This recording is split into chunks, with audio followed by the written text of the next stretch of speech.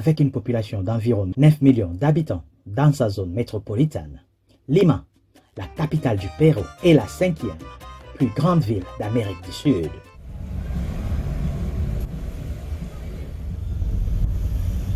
Cette métropole tentaculaire est la deuxième capitale mondiale, la plus sèche après les guerres en Égypte. S'élevant au-dessus d'un long littoral de falaises qui s'effritent, Lima est bâtie sur une vallée entourée d'un désert extrêmement aride.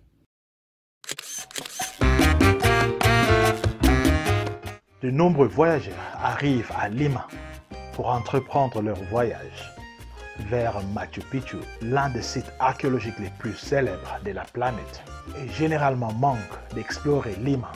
Et pourtant Lima est vraiment une ville intéressante. Lima offre une grande variété d'expériences dans la recherche des cultures et des cuisines. La ville regorge de cathédrales coloniales, des musées et des bâtiments gouvernementaux. En tant que centre économique du continent sud-américain, la ville possède également de nombreux bâtiments et entreprises modernes qui en font un excellent mélange du passé et du présent.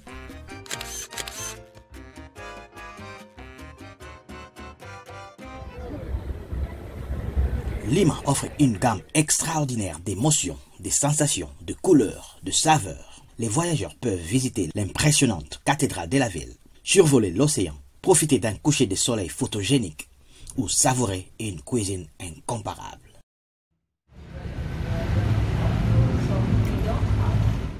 Nous avions passé deux jours dans la ville à explorer certaines de ses attractions les plus importantes. Pendant ces deux jours, entre autres, nous nous sommes promenés sur la Plaza Mayor. Nous nous sommes promenés le long des malécones de Miraflores. Nous avons visité le monastère de Saint-Francis. Nous nous sommes amusés au circuit d'eau magique. Nous avons essayé les vrais ceviches. Nous avions contemplé les street art dans le quartier de Barranco.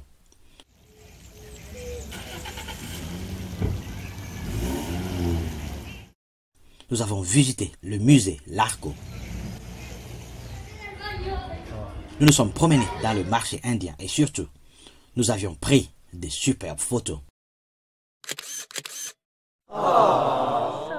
Et nous espérons que cela vous inspirera pour votre prochain voyage touristique à Lima.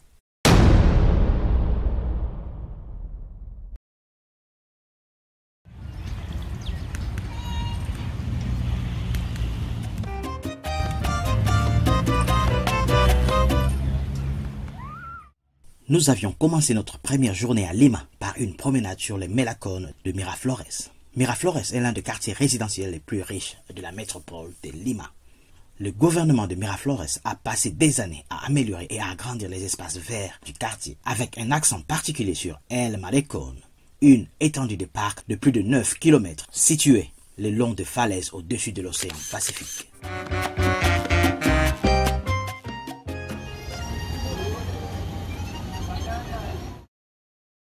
La scène culinaire au Pérou a récemment attiré l'attention internationale et de nombreuses personnes qui visitent Pérou désirent goûter aux plats péruviens lors de leur visite à Lima. Miraflores est la mecque de la bonne cuisine à Lima. Il existe une quantité incroyable d'options dans les quartiers, allant du traditionnel à l'expérimental et de l'abordable au haut de gamme. Nous avions trouvé un très bon restaurant avec une excellente vue sur le littoral et nous pouvions boire du pisco sour et goûter au vrai ceviche. Boisson nationale du Pérou est le pisco. Le pisco est un brandy distinctif fabriqué au Pérou et au Chili en distillant du jus de raisin fermenté. Le pisco sour est un cocktail classique que vous trouverez sur la plupart des menus de bar. C'est l'un des cocktails nationaux du Pérou et du Chili, fabriqué avec du brandy et des pisco, du sirop simple, du jus de citron vert, du blanc d'œuf, les ceviches et les célèbres plats d'Amérique latine où les poissons frais et d'autres fruits de mer sont cuits dans du jus de citron vert et mélangés avec du piment, de la coriandre, de l'oignon et d'autres arômes.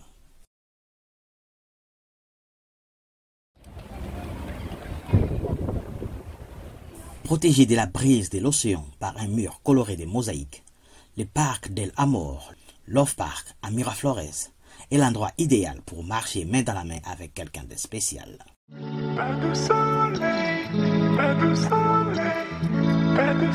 L'élément central est une statue massive de deux amants enfermés dans une étreinte passionnée. Entouré de murs inscrits des citations d'amour, le parc respire pratiquement la romance. Vous trouverez difficilement un autre endroit sur Terre où il y a un monument construit spécialement pour les amoureux.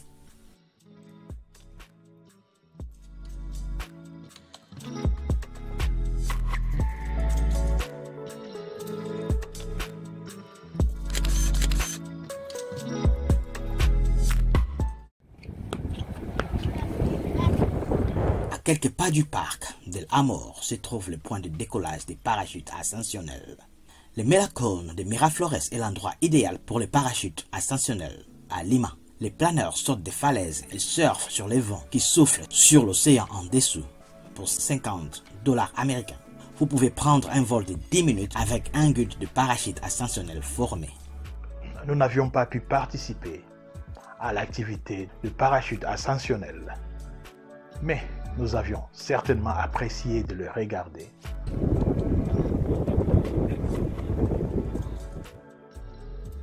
La prochaine étape est le marché indien de Miraflores à 25 minutes à pied du parc del Amor. Je pense que nous avions pris plus de 25 minutes. Ce fut une longue et agréable promenade où nous avions pu découvrir certaines des caractéristiques cachées des Miraflores, telles que le parc central de Miraflores, le parc John Kennedy et l'église de la Vierge miraculeuse.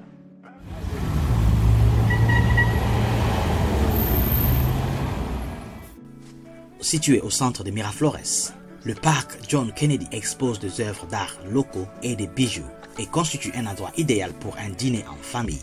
Les vendeurs de chariots proposent certains des plats de rue les plus célèbres de Lima, son emplacement au centre de Miraflores en fait un point de rassemblement populaire de jour comme de nuit. Les amphithéâtres permettent des animations de rue les après-midi et en début de soirée.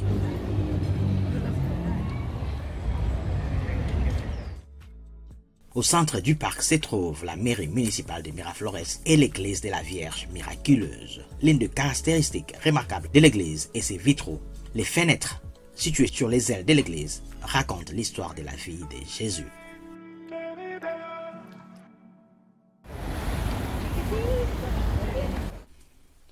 Les couleurs, le bonheur contagieux et la vitalité péruvienne se rejoignent dans le marché indien situé à Miraflores, où vous pouvez traiter directement avec les artisans.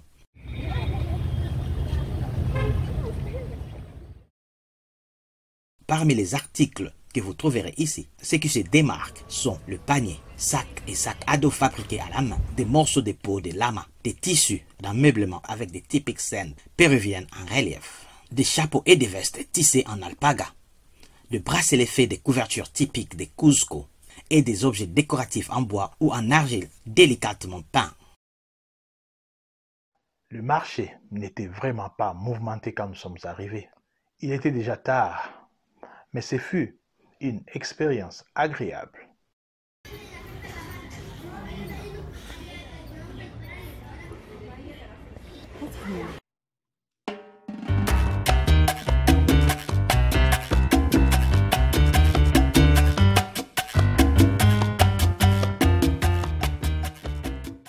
Après les marchés, nous nous sommes précipités pour atteindre le musée de Sitio Puclana, également à Miraflores car il faisait de plus en plus sombre. Ancien site religieux construit par la civilisation de Lima entre 200 après JC et 700 après JC. Ce complexe comprend plusieurs constructions en forme de pyramide orientées vers la mer, puisque ces lieux fut un espace cérémonial dédié à l'adoration de la lune et de l'océan.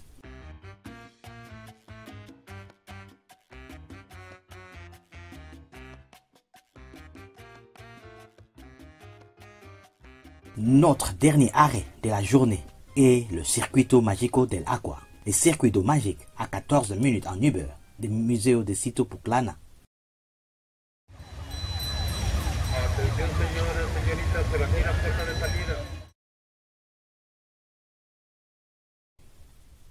Construite dans le parc de la réserve, cette série indulgente de fontaines illuminées est tellement exagérée qu'elle ne peut s'empêcher de provoquer la stupéfaction même chez les scéniques des voyages les plus endurcis.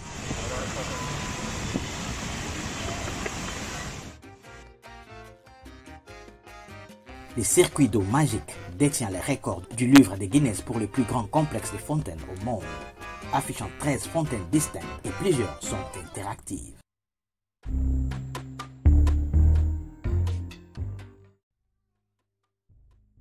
Toutes les fontaines sont illuminées la nuit, plusieurs avec des couleurs changeantes en permanence. Un programme de lumière laser colorée synchronisé avec un mélange de mélodies comprenant presque tout. Des vases péruviennes à Abba fait scintiller et briller les fontaines alors que l'eau coule dans les motifs et des formes unies. Il faudrait les voir pour y croire.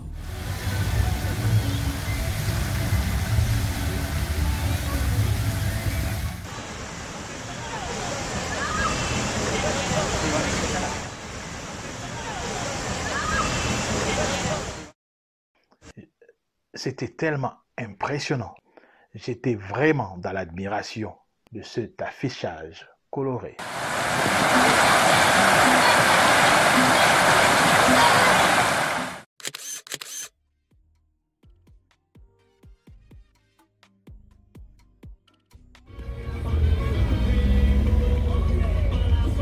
Lors de notre deuxième journée à Lima, nous allons explorer le centre historique de Lima, contenant certaines des attractions touristiques les plus populaires de Lima, telles que la basilique et le couvent de San Francisco et la Plaza de Armas de Lima.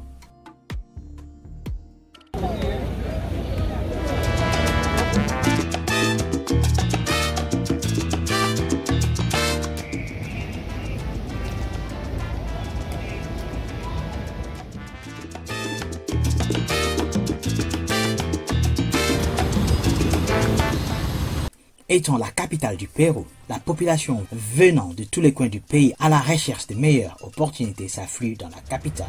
Ainsi, Lima se développe très rapidement. La ville a continué de se développer vers l'extérieur grâce à l'expansion des bidonvilles. Sur notre chemin vers la basilique de San Francisco, nous avions rencontré des bidonvilles. Au Brésil, les bidonvilles s'appellent favelas. Et à Lima, Pueblos Jovenos, signifiant les villes jeunes en français.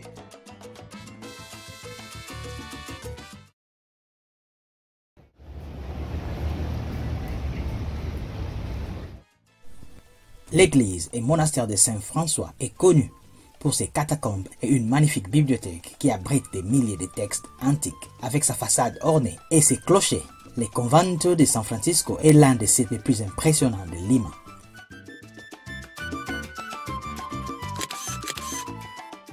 L'église massive du couvent, l'Iglesia de San Francisco, est le meilleur exemple de l'architecture baroque de Lima. Son beau portail sculpté influencera plus tard ceux d'autres églises.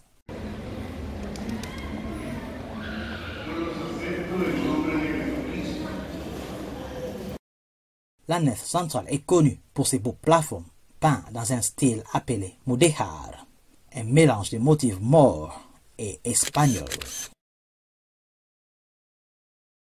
Un fait curieux à propos de cette église est qu'elle a été construite au sommet des catacombes qui servaient de cimetières à l'époque coloniale.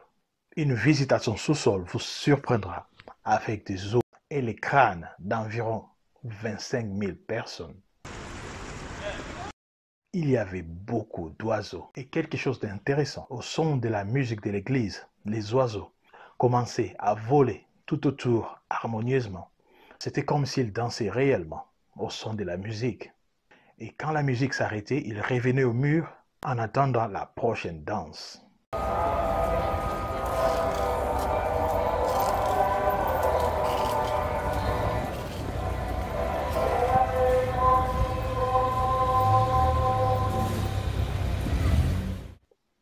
C'était vraiment quelque chose d'intéressant à voir. Après l'église de San Francisco, nous nous sommes dirigés vers la Plaza de Armas, à seulement 5 minutes à pied de l'église. Une petite pause pour déguster les churros, un type de pâte frite très populaire à Lima.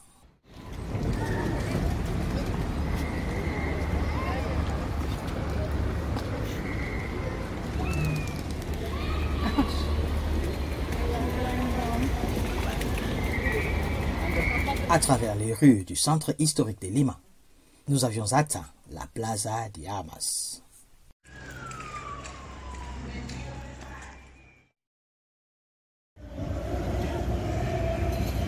Presque toutes les villes péruviennes ont une Plaza Mayor ou Plaza de Armas, qui est leur équivalent d'une place principale, généralement là où les villes ont commencé. C'est la même chose à Lima. Et lorsque vous êtes sur la place des Armas, vous pouvez apprécier la beauté coloniale péruvienne.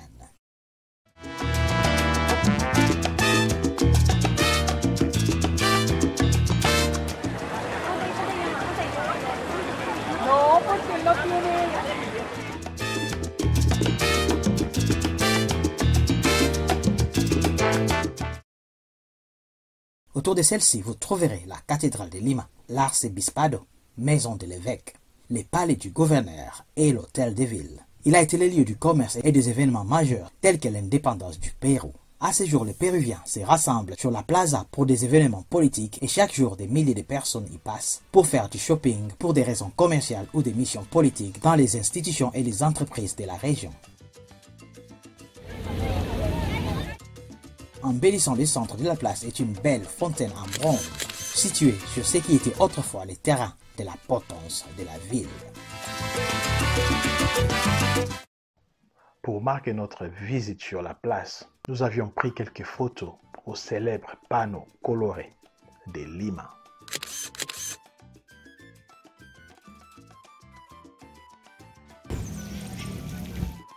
Le prochain arrêt est le Museo Larco, à 18 minutes en Uber de Plaza des Armas.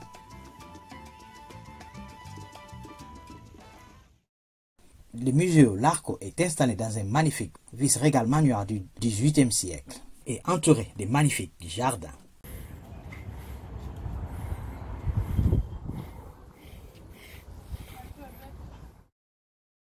Les galeries du musée exposent le plus beau et le plus magnifique trésor d'or et de bijoux de l'ancien Pérou et la célèbre collection érotique, l'une des attractions les plus célèbres du Pérou.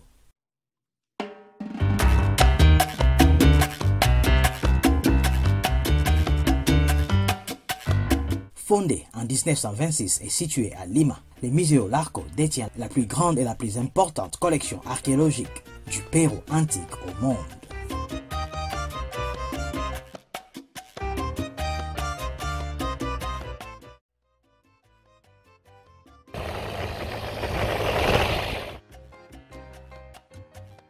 Après les musées, nous nous sommes dirigés vers Barranco, le quartier le plus romantique et bohème Lima, à 20 minutes de trajet en Uber.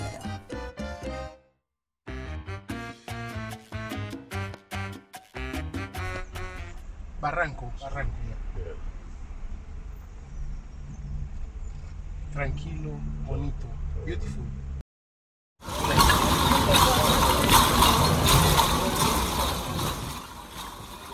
Barranco est l'un des quartiers les plus branchés de la ville, avec des arts de la rue colorés, des bars et des cafés cachés, des vieilles demeures et des maisons d'été dynamiques, des beaux musées, une cuisine délicieuse et beaucoup d'ambiance bohème.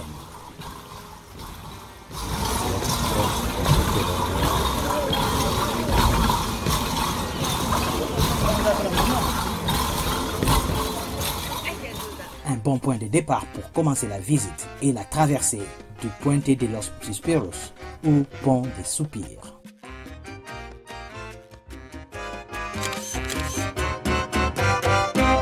L'un des monuments les plus célèbres du quartier, ce pont en bois est accompagné d'une légende qui dit que si vous faites un vœu et retenez votre souffle pendant tout le temps que vous traversez les ponts des 100 pieds, votre vœu se réalisera.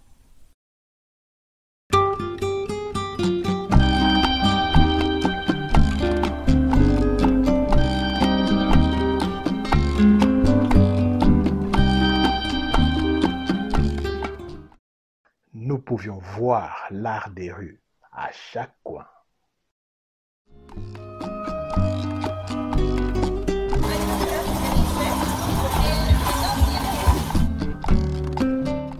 Ces affichages dynamiques sont partout et changent constamment avec des affichages fantaisistes, réalistes et de style graffiti.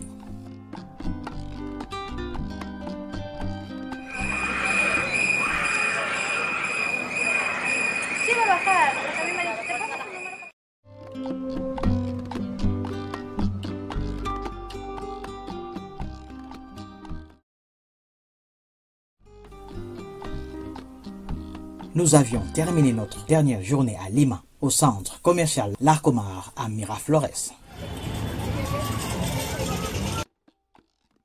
Avec une vue imprénable sur l'océan Pacifique, Larcomar est un centre commercial branché, sympa et haut de gamme situé au sommet des falaises de Miraflores. Avec des terrasses en plein air pour profiter de la vue et manger un morceau, les acheteurs peuvent se détendre dans les boutiques des créateurs haut de gamme et les charmantes boutiques vendant de l'artisanat péruvien.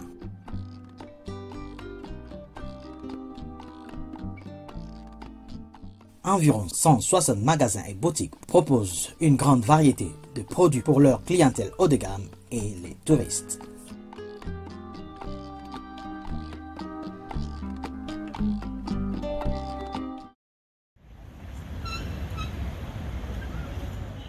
C'est la fin de notre visite à Lima.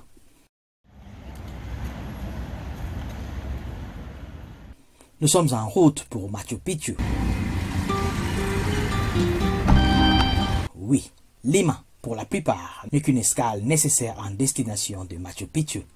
Lima, la ville des rois, peut être bien plus que cela. La plus ancienne ville des Amériques offre une cuisine de classe mondiale, des vestiges de l'architecture coloniale, des musées archéologiques de premier plan, une vie nocturne animée et certains des meilleurs hôtels de luxe du Pérou. Ainsi, Lima gagne en popularité auprès des voyageurs en étant plus qu'une escale pour Machu Picchu. Merci d'avoir regardé. Vous pouvez vous abonner pour plus. Prochainement, nous amenons à Machu Picchu. Jusque-là, continuez à voyager. À bientôt.